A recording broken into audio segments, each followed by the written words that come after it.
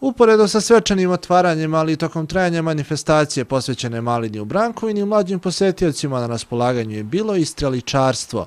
Naime, lokalni klub, osnovan pre četiri godine, iskoristio priliku da prolaznicima, ali i deci koja su u nedelju posetila ovo znamenito mesto, predstavi tajne ovog sporta. Klub je iz Valjeva, Vitezovi, ima oko 40 članova, osnovan 2019. godine.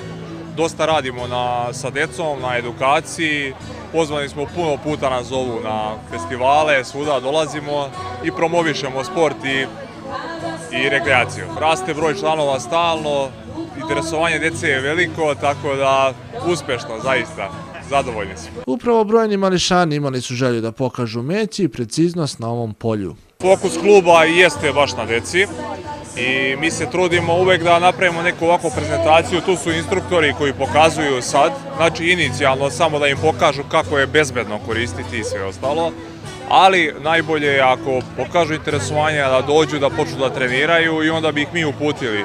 Sport nije komplikovan, onako da kažemo u duši je srpskog naroda, tako da ide to lepo. Mi smo veoma aktivni na takmičenjima i u zemlji i u inostranstvu, Klub je trenutno na drugom mestu u, u Streličarskom savezu Srbije.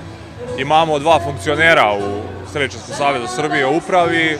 Uspešno je dosta. Tako da, evo, uskoro evropsko prvenstvo. Naši ovaj, takmičari, tri takmičara iz Valjeva će učestvovati u Rumuniji na evropskom prvenstvu 13. augusta. Sagovornik istakao da bi u budućnosti voleo da rade kao i do sada kako bi svim zainteresovanima kroz manifestacije, ali i treninge približili streličarstvo.